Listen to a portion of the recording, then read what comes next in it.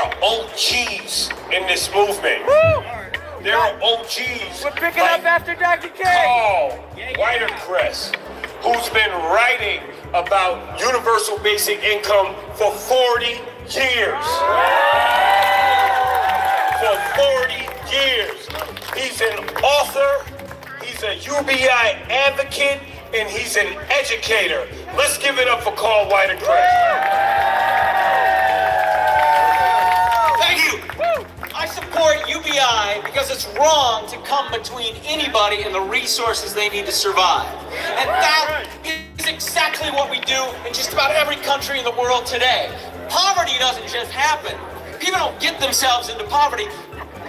Poverty is a lack of access to resources. The world is full of resources. The only reason you can lack access to the resources you need to survive is because somebody else controls them, whether it's an owner, whether it's a politburo, whether it's a bureaucracy, doesn't matter who controls them if it's not you, and they say you can't have them unless when we you do what we say, you are not free. Right? Freedom is independence. Freedom is in, is the power to say no to anybody who wants to give you orders. But we've seems so natural that some people should just own the earth, and the rest of us, the rest of us, the 90%, the 99%, we all have to go to them to get our jobs, or we have no resources to keep us alive. And we call oh. that we call that work. We act like there's no other kind. That the only thing work could possibly mean is going and taking orders from somebody who has more privileges than you do. Working for yourselves has been impossible. It's been impossible since we kicked the peasants off the land and since we enclosed the commons. Work for yourself has been impossible since we abducted the slaves. Work for yourselves has been impossible since we killed the buffalo. And the freed slaves knew this at the end of the Civil War. That's why they asked for 40 acres and a mule. Unfortunately, their masters knew it too. That's why they didn't get it. Now, there's nothing wrong with a job. Jobs don't make you unfree. What makes you unfree is when somebody says, uh, when, when, when instead of saying, instead of, I, I want you to work for me, so I'm going to pay you enough that you'll want to work for me. That's fine. But when you starve them into submission, say, I'm going to take everything. I take all the resources. I didn't invent these resources. These resources were here before all of us. But this group of people, this tiny little privileged group of people, are going to take all the resources and we're not going to share to anybody until you who have nothing provide services for those of us who already own everything. That's why when you control resources, you don't just get the control of the resources, you control some other people. So the only thing you could possibly do to justify owning resources, when uh, owning more resources than other people do, to have more more access to resources, more control over the resources other people own, is to provide some sort of service for them. That's why we need to tax the owners of property. All property is made out of resources. Every single piece of property, even on the internet, all that stuff. You need a place to stand when you make the internet. You need energy to make that internet work. All property is made out of resources. And they'll tell you they paid for those resources. No, they paid the last guy that owned them.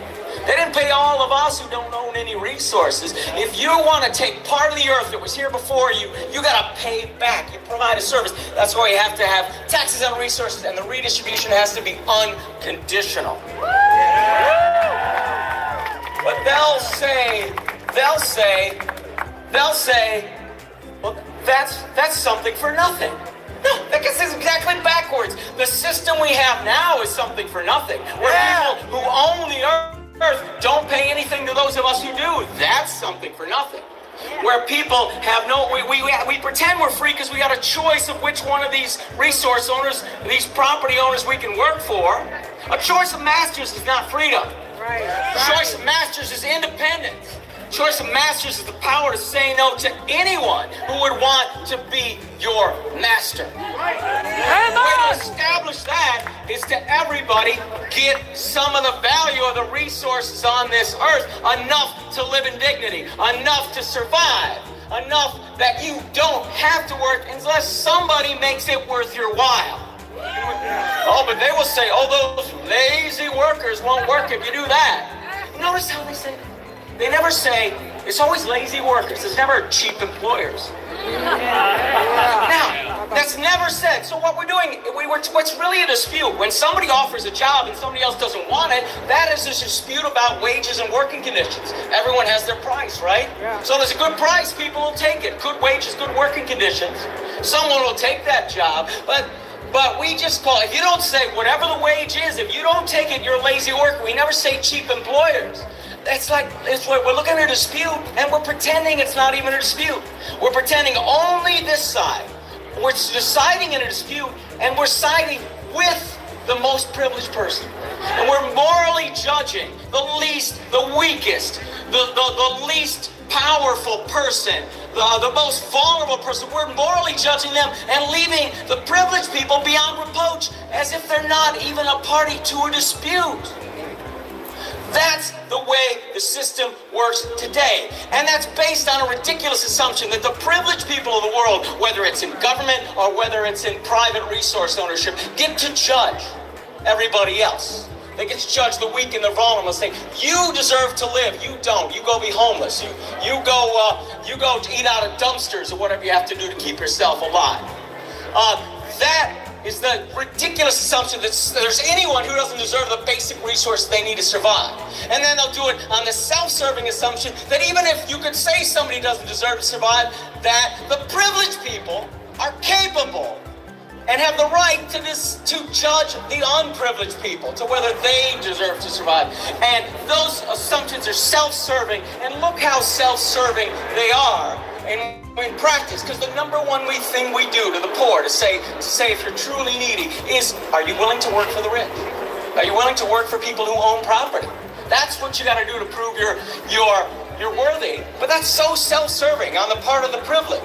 Yet for almost all of us, this is self-defeating. Because most of us don't have enough property that we can just hire people to work for us.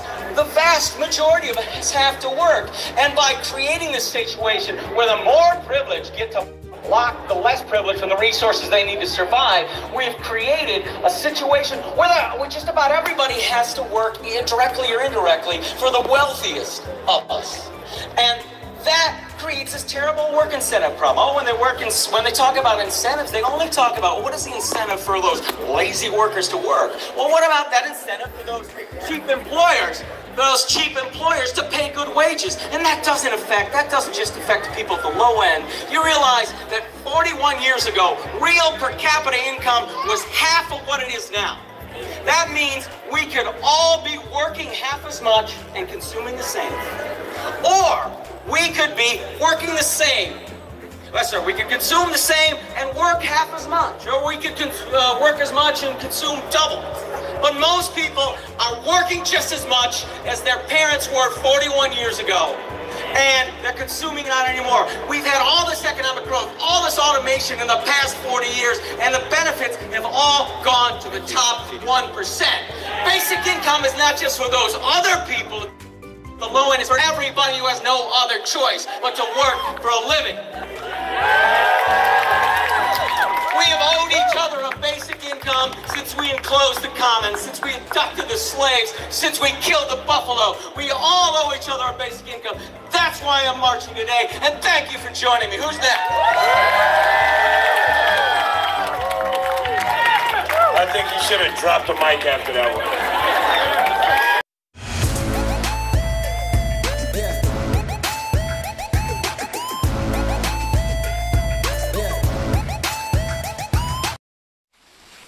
Yummy, yummy, yummy, yummy, yummy.